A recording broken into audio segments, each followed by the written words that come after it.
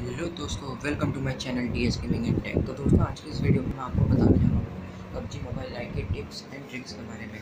Let's grab tips and tricks तो दोस्तों, आपको सिंपली इस ट्रैक्टर के ऊपर आना है, फिर इसके आप ऊपर पंप पे चले जाइए, फिर आपको यहाँ से जंप और लैच गेट करके पेड़ पे चढ़ जाना है। तो दोस्तों, आप यहाँ से पूरे के पूरे रिश्ता पर नज़र रख सकते हैं कि कौन सा बंदा कहाँ पर है। तो यहाँ से आप किसी को भी बहुत ही आसानी से आप मार सकते हैं वो आपको सपोर्ट बिल्कुल नहीं कर पाएगा कि आप लोग कहाँ पर बैठे हुए हैं कहाँ पर आप फिनिश कर रहे हैं। और मे भी उसे अगर सॉल्व कर भी लें तब तक भी डैमेज दे सकते हैं, ताकि वो बहुत ही आसानी से आपको मार सकें। तो यहाँ पर आप देख सकते हैं, यहाँ पर स्कोप लगा के मैं आपको दिखा रहा हूँ। आप पूरी बिल्डिंग पर नज़र रख सकते हैं। ये बिल्डिंग आपको रास्ता में है।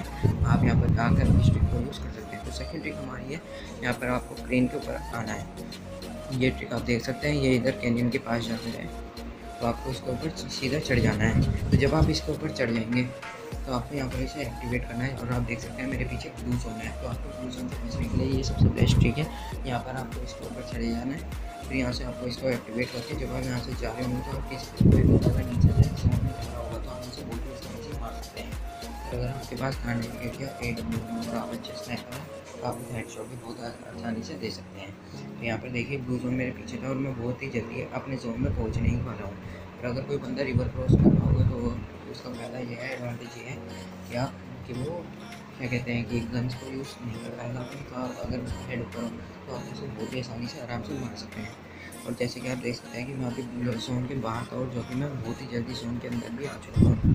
और अगर ये नहीं होता तो मे भी, मुझे, मेरी हेल्थ और कम हो सकती थी।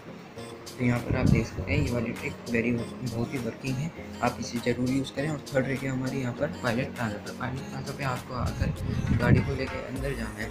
जब आप इसे अंदर ले जाके वो जो आपको प्लेन दिखेगा इधर प्लेन के पास जो डोर है, वहाँ पर उसको आपको लगा देना है। जो यहाँ पर छोटा सा शेड टाइप बन रहा है, इसके ऊपर आपको लगा देना और डोर को ना बाहर की तरफ़ को खोल देना तो जब इसे आप इसे कार को अपनी एडजस्ट कर देंगे डोर के पास तो आपको सिंपल कुछ नहीं है डोर के पास एडजस्ट करना है।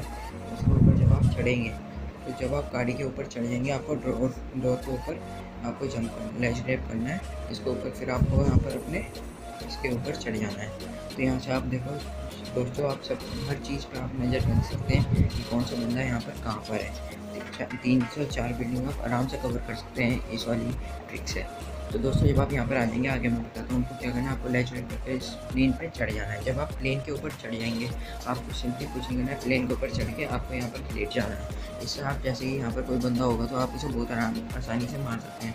और जो यहाँ पर सामने आप टावर देख सकते हैं, आप उसे भी आराम से मार सकते हैं। और ग्राउंड पर या सामने जितनी भी बिल्डिंग्स आप उन पर भी उसे स्काउट करके मार सकते हैं। लेकिन ये गारंटेड है कि वो बंदा आपको स्काउट नहीं कर पाएगा क्योंकि कोई भी बंदा नहीं सोच सकता कि अपोनेंट जो बंदा वो किसी प्लेन पर बैठा हुआ क्योंकि लोग सोचते हैं कि आसानी से कि टावर पर होगा या बिल्डिंग्स पर होगा या क्या कहते हैं कि ग्राउंड पर होगा। लेकिन कोई नहीं सोच सकता कि वो बंदा आपके प्लेन पर होगा। तो लास्ट ट्री है हमारी। आपको यहाँ पर सीधा इसके ऊपर लेज ग्रेप करके चढ़ जाना है। इसके ऊपर जब आप यहाँ पर आएँगे तो आपको यहाँ पर ऊपर इसके ऊपर चढ़ जाएँगे।